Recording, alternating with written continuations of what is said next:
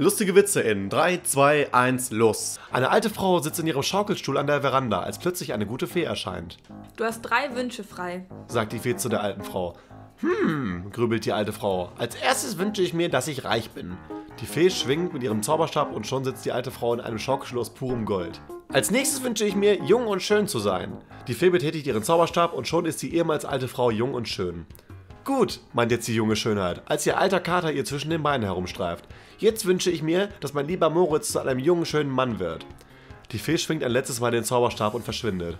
Vor der Frau steht der schönste Mann, den sie jemals erblickt hat. Sie bekommt weiche Knie, als der schöne Jüngling seinen Kopf in ihre Richtung beugt, glaubt sie doch, er würde sie jetzt küssen. Doch stattdessen flüstert er ihr ins Ohr, Ich habe gewusst, dass es dir irgendwann einmal leid tun würde, mich kastriert zu haben. das passt auch mit der, mit der äh, hellen Mädchenstimme jetzt, wo er keinen Schwanz mehr hat. Ja, das stimmt. Ein Mann im Rotlichtviertel, er fragt eine herumstehende Dame, was bekomme ich für 10 Euro? Da kannst du dir höchstens einen runterholen. Enttäuscht geht der Mann, kommt aber nach einer Viertelstunde wieder zurück. Was willst du denn schon wieder hier? Entrüstet sich die Nutte. Bezahlen. Wenn mein Leben ein Hörbuch wäre. Eltern, und wie läuft die Arbeit? Ich? Och, die Arbeit läuft ganz gut. Erzähler, doch die Arbeit lief nicht gut. Trump ist Präsident und seine erste Amtshandlung, er wirft eine schwarze Familie aus dem Weißen Haus. Genau mein Humor. Ich verstehe dich, Wikipedia, aber uns allen fehlen 8,3 Millionen Euro. Bis wohin hast du gelesen? Hab ein Eselohr reingemacht.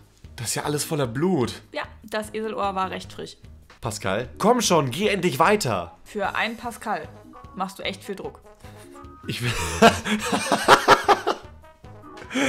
ich finde super, dass jetzt nach einem Schwarzen auch ein geistig behinderter Präsident in den USA werden konnte.